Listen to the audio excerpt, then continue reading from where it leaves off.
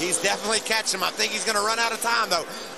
Is Johnny Benson going to finish ahead of Mike Skinner? He's one truck in front of him. Will he let him go back by and get those four points? I cannot imagine that Johnny Benson would not let Mike Skinner go by with a championship at stake here. Down the backstretch, our leader, Kyle Busch, holding off the 33 of Ron Hornaday.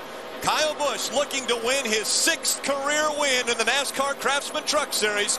Looking out of turn four, checkered flag in the air. He'll win the Phoenix 150. Good job, boys. Richie Wauters, everybody. Billy, thank you. Unbelievable. Johnny Benson stays in front of Mike Skinner. I cannot believe that. That's four points. Put that down in your notebook. Yeah, I, I think uh, obviously no team orders there because Johnny Benson passed Mike Skinner, cost him four points. That could loom large when we get to Homestead next week. But Johnny Benson passed Rick Crawford, moved into the top five in points.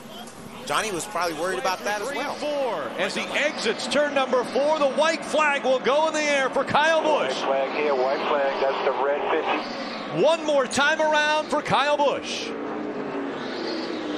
Pretty good separation till this battle back here for the seventh spot with Crafton and Johnson.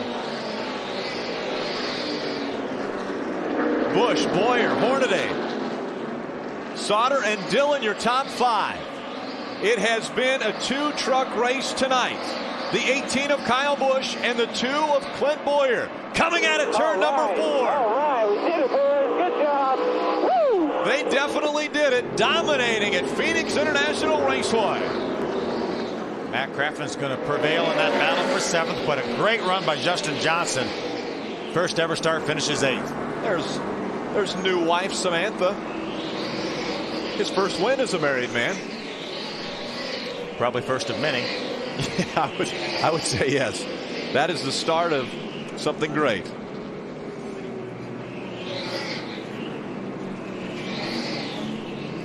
And let's go trackside to